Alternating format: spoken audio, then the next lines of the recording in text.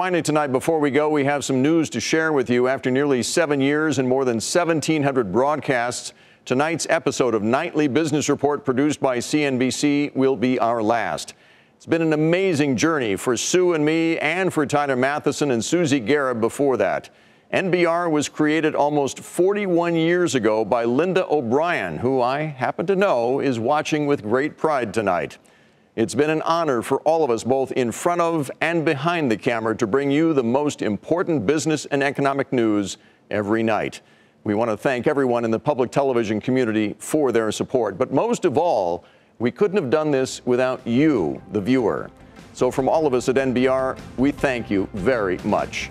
I'm Bill Griffeth, and to close things out, I gladly defer to the man who for many years was synonymous with this program, the late great Paul Kangas.